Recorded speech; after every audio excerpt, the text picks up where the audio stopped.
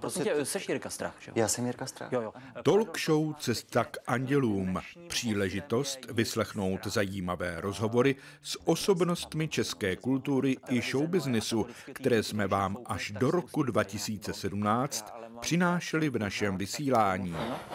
Jo, ty máš dech. Ne, já mám vysoký tlak.